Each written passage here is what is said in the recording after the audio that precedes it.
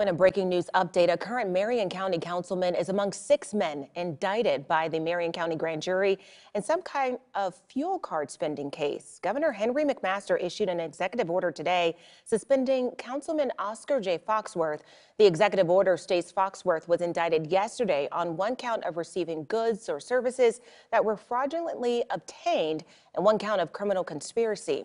News 13 reached Foxworth by phone this morning and he said he was unaware of the grand jury indictment or that he was suspended by the governor until we told him.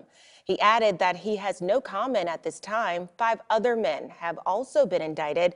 One of the indictments we just got from SLED says that one of them, Jonathan Hewitt, was entrusted with fuel cards in the amount of more than $10,000, but illegally used them for personal gain last year. Councilman Foxworth and the other four allegedly conspired with Hewitt.